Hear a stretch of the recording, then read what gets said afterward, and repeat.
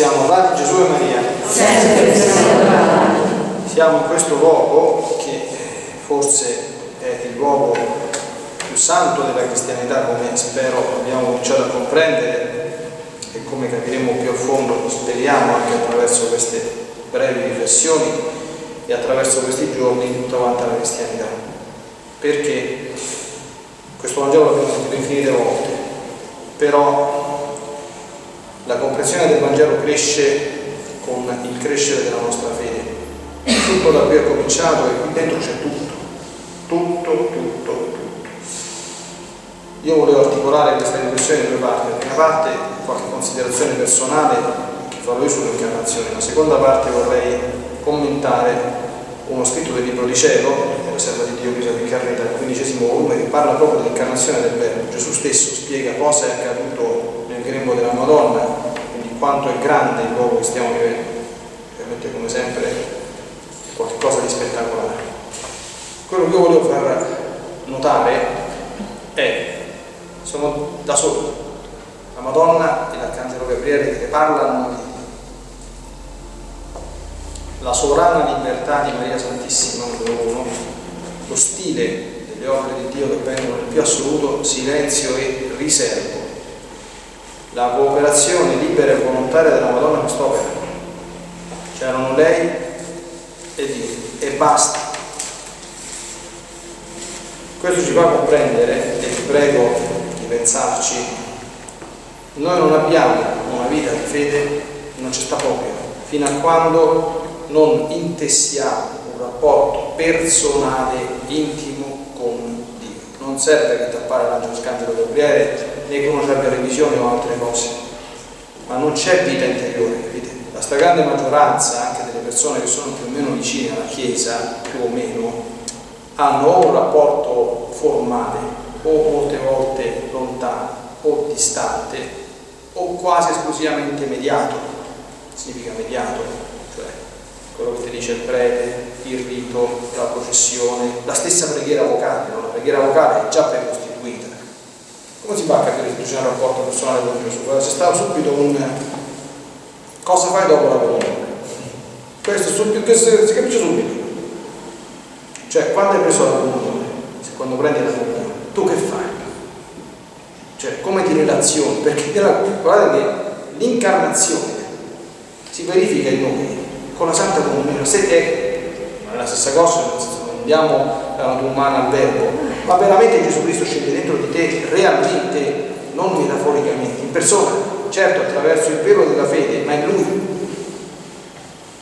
Allora, se quando tu devi fare la comunione non sai che digli al nostro Signore, oppure se, se che capite, tenete sempre presente, non si tratta di accusare, di fare giudizi di, di tipo morale, eh? la cosa bellissima che si scopre dentro il mondo della divina volontà, del mondo divino, veramente, è che tu, sapete come dice il proverbio, dimmi quello che fai, ti dirò che se non si tratta di un giudizio, cioè se tu fai la comunione e scappi subito via, vuol dire che il rapporto con Gesù non ce l'hai e che la comunione che prendi, anche se stai in grazia, ti fa quasi niente.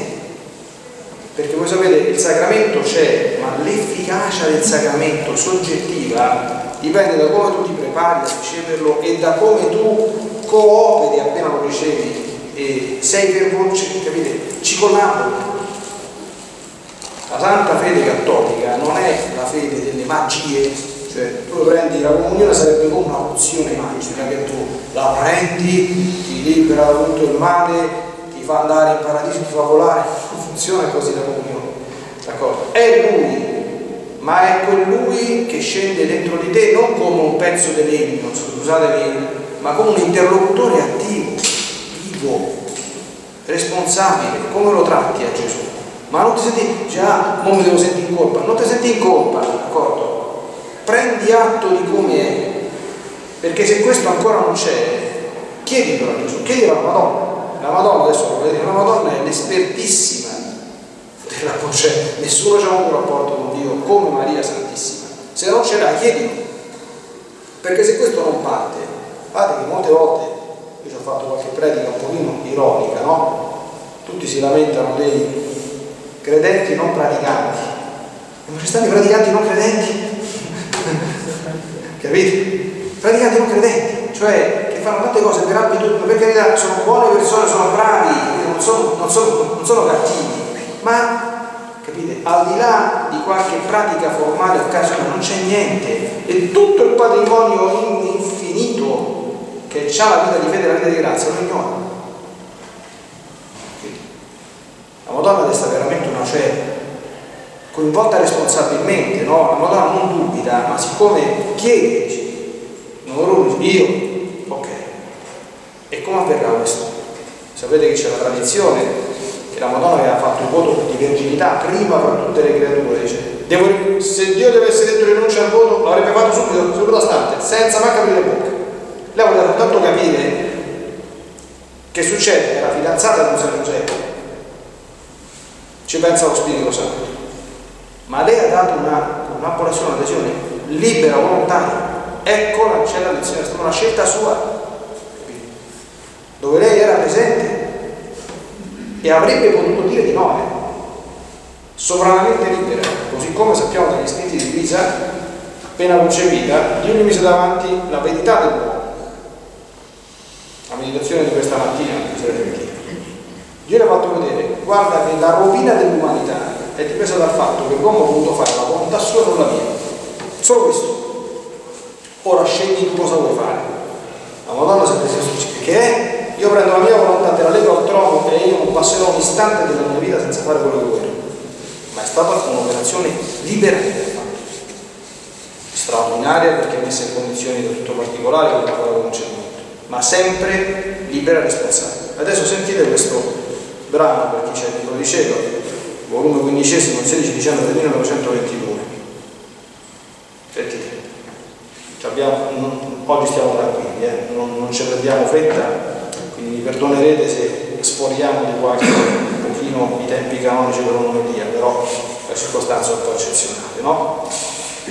Figlia diletta mia, se il concepimento della mia mamma celeste fu prodigioso, il concepimento di Maria, di Immacolata Concezione, e fu concepita nel mare che uscì dalle tre divine persone, il mio concepimento, qui parla Gesù, cioè quello che è avvenuto qui sopra,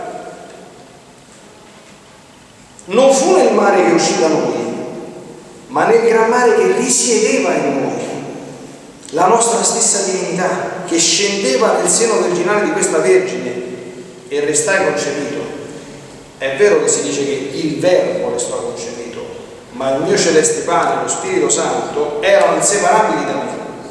È vero che io ebbi la parte agente, ma loro ebbero, la ebbero concorrente. Immaginati poi due riflettori, di cui uno riflette nell'altro lo stesso soggetto, guardate che qui si va parecchio in alto, eh?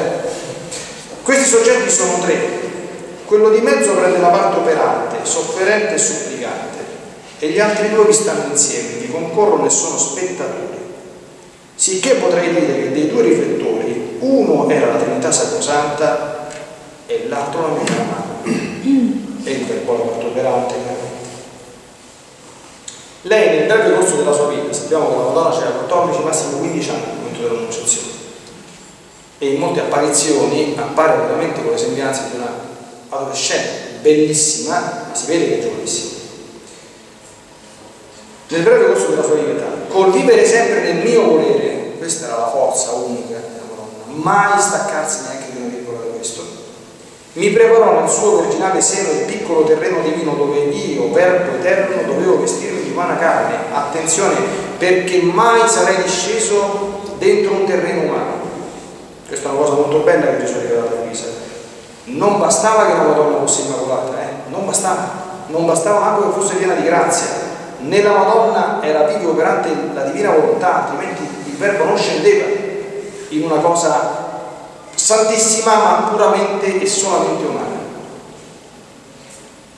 E riflettendo la Trinità in lei stai concepito, onde mentre questa stessa Trinità restava in cielo, la dottrina cattolica dell'incarnazione, i concili su cui ho scritto tanti articoli sul settimana di Padre Pio, mentre la Trinità restava in cielo, io restavo concepito nel seno di questa nobile regina.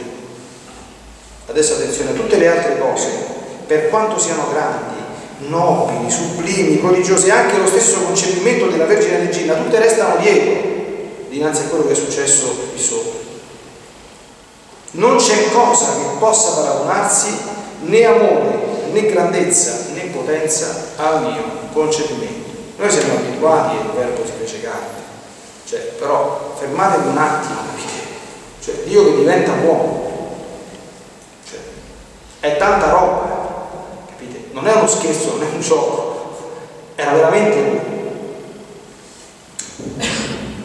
Qui non si tratta di formare una vita, prosegue, ma di rinchiudere la vita con la V maiuscola, rinchiudere la vita con la V maiuscola, che dà vita a tutti. Non di allargarmi, ma di restringermi per potermi far concepire. Non per ricevere, ma per dare.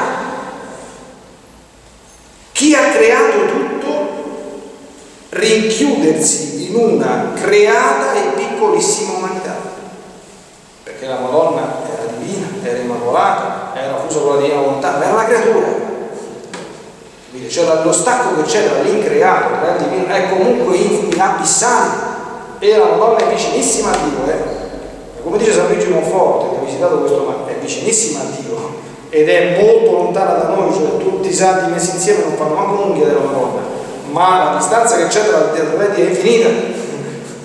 Per quanto insomma, cioè, guardate che la Madonna basterebbe, io sono convintissimo che basterebbe in paradiso vedere ininterrottamente la Madonna e, e come dire, avere di riflesso da lei tutto quello che lei vive, ha e sa di Dio. Basterebbe. Eppure Dio in persona la supera infinitamente perché lì creato. Queste sono opere solo di un Dio e di un Dio che ama, che a qualunque costo vuole legare col suo amore la creatura per farsi amare. Lo scopo dell'incarnazione. Manifestare il suo amore immenso e attenzione, come diceva Sant'Alfonso, Maria dei Liguri, altro illustre visitatore di questo santuario, devotissimo della Madonna, Dio come ci cerca, ci, ci, lui ci, ci accattiva col suo amore. Ecco perché io più tempo passa sentire dire fino alla nausea, comprendo come l'unico modo corretto per entrare in rapporto con Dio è mettersi dinanzi al suo amore, che ripeto, interpella la libertà individuale e personale della persona. Se tu non ti, non ti, non ti lasci toccare da questo e non rispondi tu liberamente, sottolineo 4 all'appello del Signore, riconoscendo il suo amore e sentendo il desiderio e la voglia di ricambiarlo, niente serve a niente. Quando questo succede diventa tutto facile, quando questo non c'è, pure andare a messa la domenica è difficile. Però di essermi spiegato, no? Gesù prosegue, ma questo è un bel nulla ancora. Quasi finito, eh? Sai tu dove sfolgorò tutto il mio amore, tutta la mia potenza e tutta la mia sapienza? Non appena la potenza divina formò questa piccolissima umanità, sentite, tanto piccola che potrebbe paragonarsi alla grossezza di una nocella. Attenzione qui c'è una nota, Luisa usa una parola in dialetto che significa nocciola, ma che allo stesso tempo, in dialetto, indica il tessuto interno dell'ovulo che dà origine al sacco embrionale. Quindi, ok? Lo zigote. eh, termini tecnici. Cioè, capite? Dio quando è dentro uno zigote. Ecco perché eh, l'Eucaristia, no? Tu ti scandalizzi, dici attenzione ai frammenti che un millimetro quadrato di ostia consacrata contiene Gesù Cristo, è più piccolo uno zigoto di un millimetro quadrato di Eucaristia, eh? Non dobbiamo scandalizzarci. E attenzione, e dentro questa, con le membra tutte proporzionate e formate al microscopio. E il verbo restò concepito in essa L'immensità della mia volontà, adesso attenzione, eh, facciamo un altro volo, racchiudendo tutte le creature passate, presenti e future, perché la, la divina volontà con un istante le prende tutte quante, questo è essere Dio, concepì in essa, attenzione, tutte le vite delle creature, e come cresceva la mia, così crescevano loro in me. Voi pensate quanta gente campa che non gli passa manco per l'anticamera del cervello una del genere, fanno delle vite schifose, ma brutte, lontane da Dio, disastrate, senza che manco gli passa per l'anticamera del cervello una cosa del genere, che è stata oggettivamente fatta però dal verbo all'istante dell'incarnazione. Sicché mentre apparentemente parevo solo, visto col microscopio della mia volontà, si vedevano concepite tutte le creature allora, quando San Paolo parla del verbo, attenzione, dice tutte, tutte quante le cose sono state create per mezzo di lui e in vista di lui. Attenzione, mo parecchio in alto. cioè, l'uomo, la Santissima Trinità funziona così, state attenti, eh? io ci provo a portarmi un pochino in alto.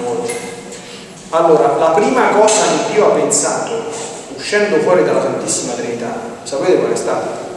il verbo fatto carne. La seconda è stata la creatura che ha recuperato questo mistero. Poi tutto il resto della creazione. Cioè il mio concepimento che è avvenuto nove mesi prima del 18 settembre del 71 ha la sua fonte nel concepimento del verbo nel greco della Madonna, così come quello di tutta quanta la razza umana. Com'è possibile?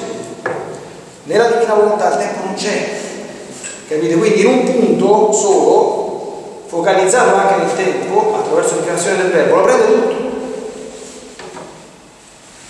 Capite? Questo è il fondamento anche per cui ogni anima, fatta immagine di Dio, ogni anima è oggetto dell'amore di Gesù, oggetto dell'amore della Madonna, semplicemente per il fatto che è un'anima. Ma ultimamente ho scritto un articolo sul settimana di Padre che è un pochino difficile, cioè che parla di come l'opera di Gesù della Chiesa l'ho detto anche al catechismo degli adulti l'ultimo incontro, riguarda tutta l'umanità, anche le persone che senza la loro colpa non fanno parte della, della, della Chiesa. Capite? Perché, non, perché cioè, noi pensiamo che il pigmeo che è stato, e che Dio lo sa perché è stato concepito, l'anima stava, stava messa nella foresta, stanno i pigmei, non, non qui. Noi pensiamo che Dio non ci pensa il pigmeo, che sia estraneo alla, alla sua vita, o che Dio se ne fissa, no, il resto tutte altre bestie, diventiamo i primi razzisti del mondo, così è. Dico, ma stiamo scherzando. È chiaro che è diverso appartenere alla Chiesa Cattolica in pienezza, però Dio ci ha voluto di quello. E se quel pigmeo non conosce la Chiesa, si comporta in coscienza lentamente davanti a Dio, può raggiungere la salvezza perché? Perché è stato concepito in Gesù, perché Gesù ha sofferto per lui e perché la Chiesa nella sua azione prega per tutti. Io tra poco c'era Polonis anche nel pigmeo, io prego per tutti gli uomini davanti al sacrificio della croce di Cristo. Capite? Capito che è successo qui sopra? Quella è casa nostra, non per scherzo, ma sul serio. Non semplicemente perché sei a casa nostra, sei a casa della Madonna, siamo tutti quanti voi della Madonna, allora è casa nostra, perché insomma è casa della... Non è casa nostra sul serio. Allora, concludo, quasi finito. Cioè, avete capito qualcosa? Qualcosa abbiamo Speriamo qualcosa sì, eh, perché qui si va parecchio in alto, eh, però non è colpa mia se il verbo si è fatto carne e si, ha, e si, concentrano in queste cose qui. Questa è tanta roba questa qui. Io sto cercando di fare il più semplice possibile, però succedeva di me come quando si vedono acque cristalline che mentre compariscono chiare, i biologi, ce n'è qualcuno qui Viste col microscopio, quanti microbi si vedono? Avete mai visto l'immagine? Mamma, cioè, sta concetta d'acqua che sembra volete, se la vede al microscopio dice, mamma mia, che succede? Miliardi di microbi, tutte queste cose che si muovono dentro questa goccia. Il mio concepimento fu tale, tanto grande, è stato attenti, che la gran ruota dell'eternità restò colpita ed estatica